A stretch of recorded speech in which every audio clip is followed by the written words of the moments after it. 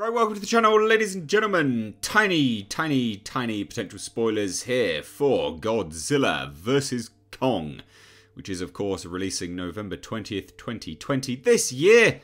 I absolutely can't wait for this film. Uh, genuinely, uh, when a trailer drops, I'm going to be so happy. We've got something so exciting to talk about. Uh, some just lots and lots of theories dropping oh, it's gonna be so good. I love, love, love the, the MonsterVerse. And yeah, blatant bias. I don't give a shite.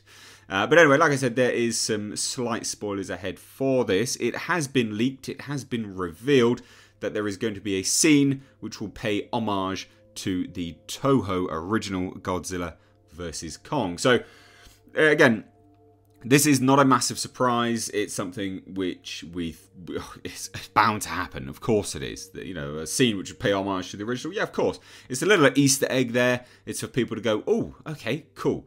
Um, you know, fans of the original, fans of Toho. Oh, we see that. Yeah, love it. Great. Now, apparently, there has been a pre-screening of Godzilla vs Kong, and it came out within that pre-screening. Okay, there would be a scene where Kong picks up a tree and throws it at Godzilla's face. Uh, so in a battle, he just picks up a tree, throws it at Godzilla's face, which is a direct homage to a very iconic scene from the Toho original, somewhat slapstick, where Kong shoves a tree down Godzilla's throat. Now, obviously, pre screenings and things like that, they can change it, it could be cut. Uh, but it's such a, a, small throwaway scene. I doubt it's going to be cut, if it is even indeed true. Uh, but I would imagine this is the case, and like I say, just chucking that in there, yeah, great, no worries. I'm all for that. Uh, it's a throwaway scene, it's a nod to the original. It's for people to go, oh, I like that, awesome.